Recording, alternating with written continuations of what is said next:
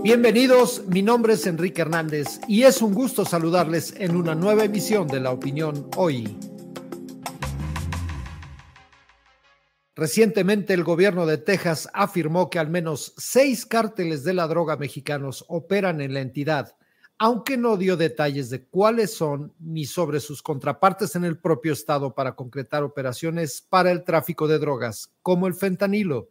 Para comentar más sobre este tema, saludo con mucho gusto a Jesús García, nuestro especialista en política, inmigración y asuntos nacionales de la opinión.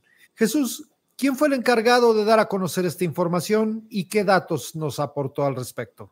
¿Cómo estás, Enrique? Gracias por la invitación. Pues fue el coronel Steven McCraw, que es el director del Departamento de Seguridad Pública en Texas, y que formó parte del segundo panel en las audiencias que se hicieron en, el, en la Cámara de Representantes, audiencias especiales justamente en Texas para hablar sobre lo que es eh, básicamente la frontera y cómo está operando el crimen organizado en la zona.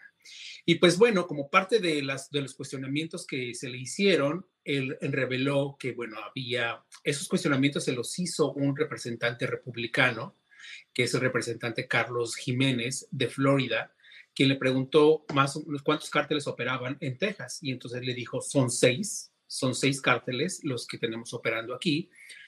Sin embargo, empezó como a trastabillar porque evidentemente eso revelaba ya que finalmente los cárteles tenían grupos organizados dentro de Texas. Entonces, el representante Jiménez, que es republicano, conservador, quiso como redireccionar la pregunta y dijo, bueno, ¿cuánta gente tienen estos cárteles? No del lado de Texas, sino del lado mexicano. Y entonces el coronel le dijo, bueno, eh, tratando de acomodar un poco su respuesta, de hecho se puede ver el video, si alguien lo puede revisar el video, lo tenemos también en nuestra página, bueno, en la, nota que corresponde a esa historia, y bueno, se ve a este funcionario de Texas trastabillar y dice, bueno, alrededor de 100 mil eh, personas estamos estimando que están operando porque son de diferentes cosas y algunos, bueno, tienen alguna relación con grupos en Texas.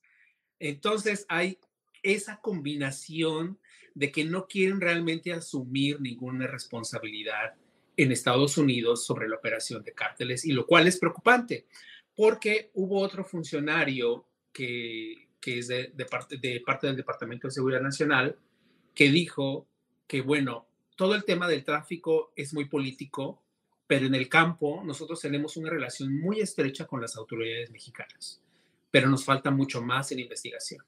Entonces, nos da una doble perspectiva sobre cómo se está manejando el tema del narcotráfico. Sí, claramente esto que nos mencionas, pues creo que se podría considerar como parte de la retórica de algunos sectores republicanos que buscan una acción más directa de los Estados Unidos en contra de los cárteles mexicanos, pero más concretamente hablando, intervenir militarmente en México Sí, bueno, esta es una de las historias que se ha reducido. Ningún demócrata, digamos, importante ha tomado esto en consideración. El que ha sido un poquito como más aguerrido, pero porque tiene una relación particular con México es Bob Menéndez, que es el, senador Bob Menéndez, que no ha hablado de intervención militar, pero sí ha sido como el que ha alzado un poco más la voz en contra México. Recordemos que Bob Menéndez es parte de este grupo cubano-americano que siempre ha estado mucho en contra de México por la relación que tiene México con Cuba. Entonces su postura hacia la política exterior y las políticas en general de México siempre son bastante duras. En los últimos meses había bajado esa posición porque la postura de Estados Unidos en general, de la administración Biden, también había bajado en cuanto a la relación con México,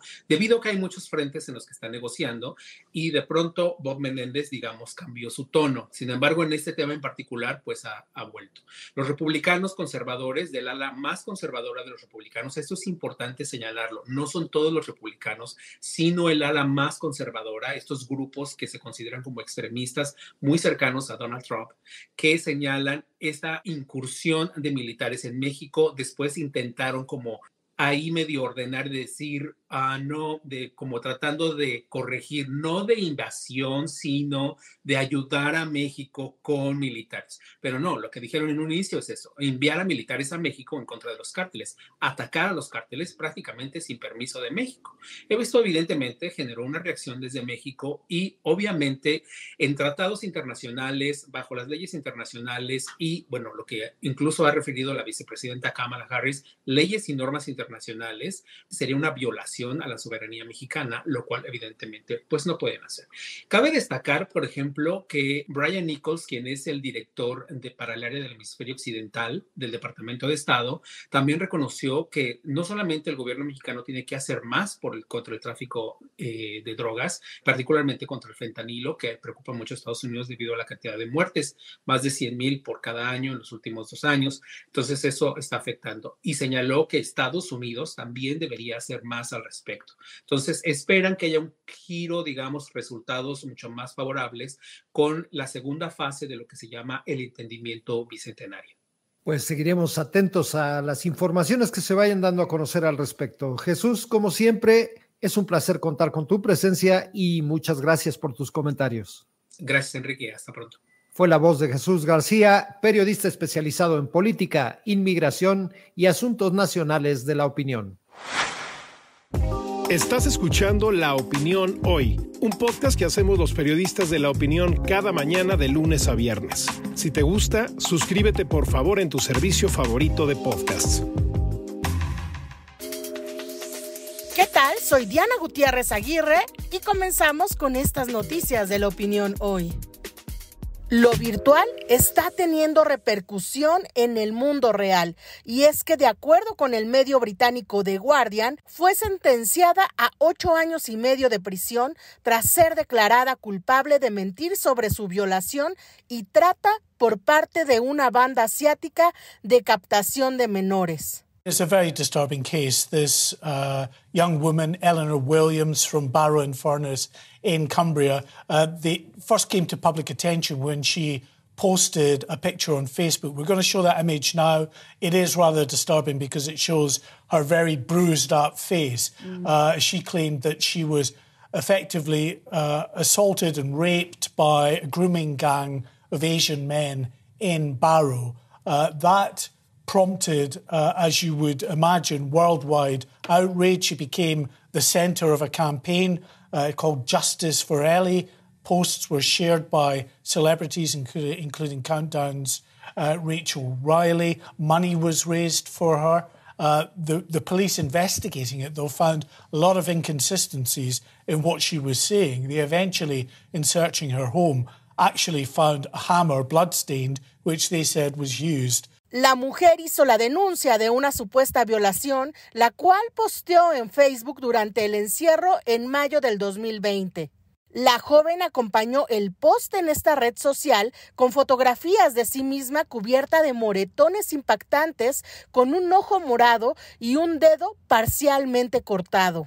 La denuncia de Williams no tardó en hacerse viral, desencadenando una campaña de solidaridad mundial, llamada Justice for Heli, con más de 100.000 miembros en Facebook, lo que hizo que además creara su propia línea de productos con un elefante morado y provocó concentraciones en todo el Reino Unido. Sin embargo, tras una exhaustiva investigación, la policía comenzó a descubrir que las afirmaciones de la joven no tenían sustento y no podían comprobarse.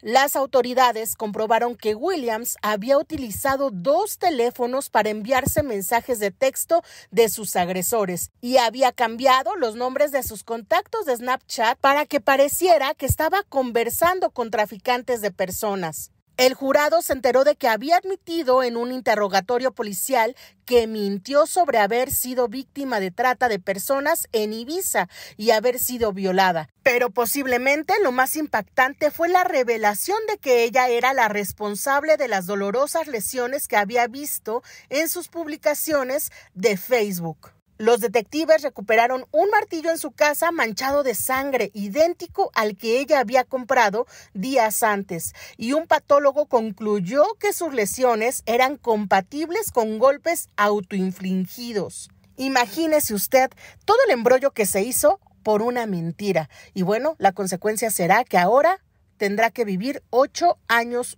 y un poquito más en la cárcel. Lindsay Lohan dio a conocer a sus millones de fans en redes sociales que está embarazada. Es a sus 36 años de edad que la exestrella de Disney debutará como mamá tras casi 10 meses de haberse casado con un banquero de nombre Bader Samaz, de origen libanés. La actriz anunció la feliz noticia de la llegada de un nuevo integrante a la familia con una tierna imagen en Instagram. Ante esta publicación la felicitaron algunas de sus amigas más cercanas, entre ellas la famosa Paris Hilton. Según los cálculos de los seguidores de Lohan, hoy tendría ya tres meses de embarazo y en caso de que esto pudiera ser cierto, se espera que estuviera dando a luz entre septiembre y octubre de este año sin duda vive un gran momento. Georgina Rodríguez, modelo y actual esposa de Cristiano Ronaldo, habló en la nueva temporada de su reality show en Netflix Soy Georgina sobre la muerte de su bebé. Todo esto pasó en abril de 2022 cuando el influencer y el astro del fútbol vivieron la pérdida de uno de sus mellizos que después de nacer falleció. Este año he vivido el mejor y el peor momento de mi vida en un instante. La vida es dura, la vida sigue. Tengo motivos para seguir adelante, ser fuerte. Tesoro. Chris me animó muchísimo a seguir adelante con mis compromisos. Me dijo, yo, sigue con tu vida, te va a hacer bien. Ahora mismo mi prioridad es mi familia, son mis hijos. Estoy súper feliz y muy agradecida. Sobre el papel del futbolista al momento de la muerte del bebé, dijo que fue muy importante para ella el apoyo que él le dio. Después de este traumático momento, la española ha tenido que adaptarse a vivir una nueva vida en el Medio Oriente. Esto para acompañar a su esposo, quien se unió al club saudí Al Nazar. En esta etapa asegura que aún con esta mala experiencia y cambios, ahora mismo su prioridad es su familia. Todo esto podrá verse en la nueva temporada de su serie que sale en Netflix a partir del 24 de marzo. Eso es todo por hoy. Mi nombre es Diana Gutiérrez Aguirre. Les agradecemos haber estado en otra emisión de La Opinión Hoy. Recuerde darnos like, compartirnos y sobre todo seguirnos la pista. Nos escuchamos en la próxima. Este podcast es una producción de La Opinión, presentada por Diana Gutiérrez, Carlos Millet y Enrique Hernández. Diseño sonoro de Brenda García. Rafael Cores es el productor ejecutivo.